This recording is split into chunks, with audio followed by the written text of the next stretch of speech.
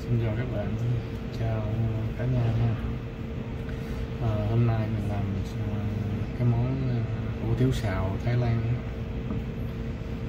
À, gọi là bát Thái đây là mình có chút uh, hủ tiếu các bạn trụng uh, nó sơ qua nha. Đừng trụng chín rồi thêm có ít gà với lại mấy con tôm rồi đây có hành hành tím sắc nhỏ đậu phộng ờ, và anh nhiễm luôn nha các bạn. Đây có mấy ờ, ớt sắc này rồi đây mình có hành lá cắt khúc giá với lại cà rốt. Nếu các bạn không thường thường cái này là nó xài cái ờ, hẹ với các bạn nhưng mình không có hẹ mình xài hành lá. Còn đây cái nước để mình xào à, cái nước này mình pha là một muỗng đường nửa muỗng nước mắm nửa muỗng uh, tương đen tương đen là tương ăn phở nha các bạn. Rồi một muỗng nước lạnh. Rồi à, nửa muỗng à, chanh à, chanh dắt cũng được. Rồi mình trộn đều lên. Giờ mình qua mình xào nha các bạn.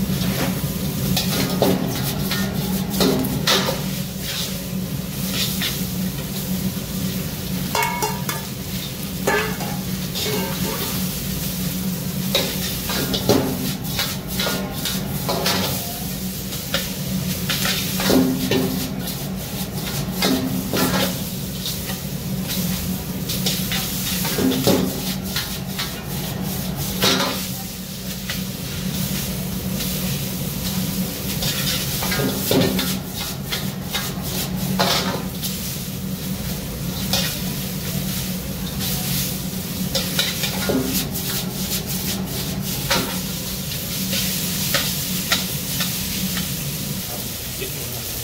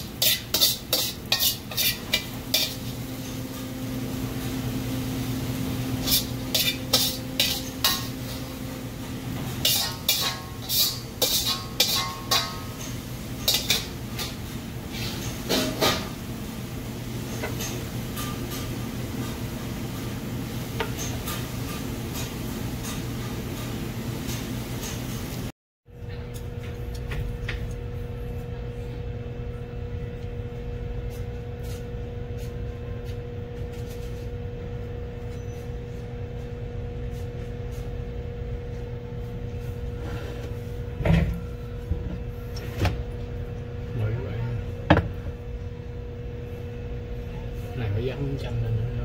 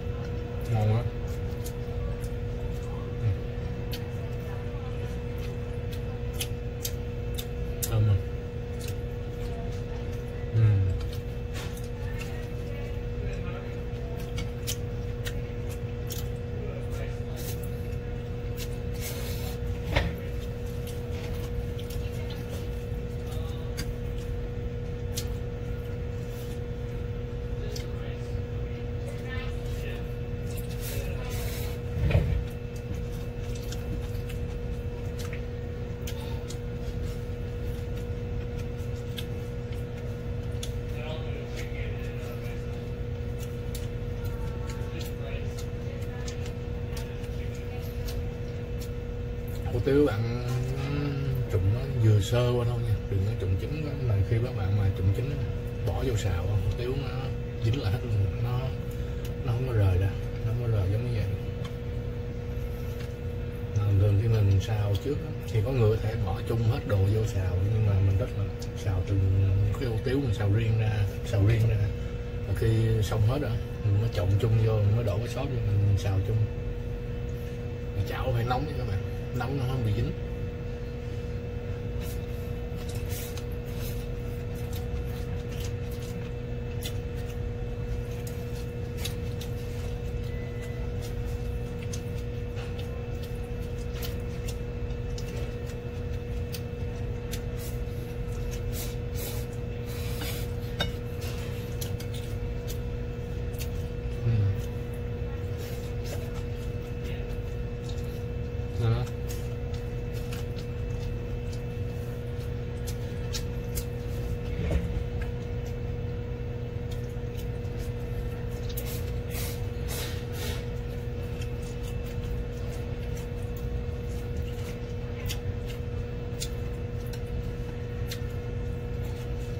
có hẹ sao ngon lắm các bạn ừ, không có hẹ mình lấy hành mình xào.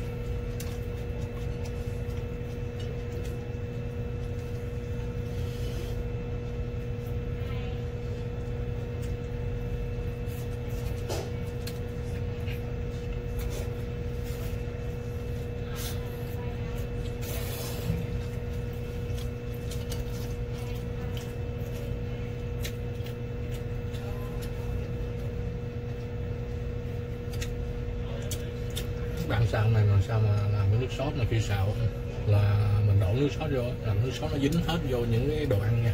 Không dư dính, không dư lại trong chảo nha các bạn. Các bạn mà xào mà khi mình múc cái um, hết cái này ra ngoài dĩa mà trong cái trong cái chảo mình mà còn dư sốt đầy trong đó nó đúng nha. Đó là nhão rồi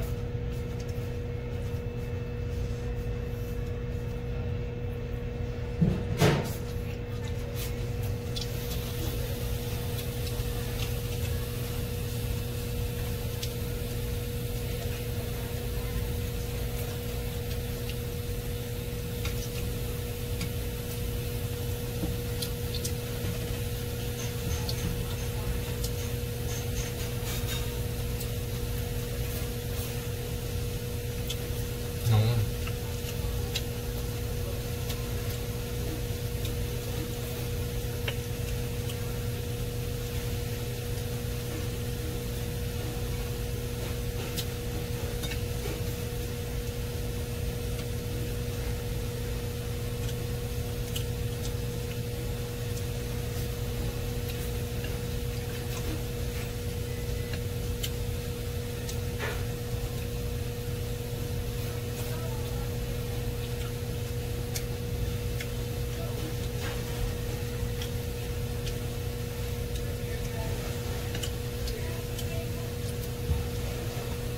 phiếu ăn sai cộng này hoặc là lớn hơn chút xíu, đừng đừng cộng bự quá. Mình cộng nhỏ nha.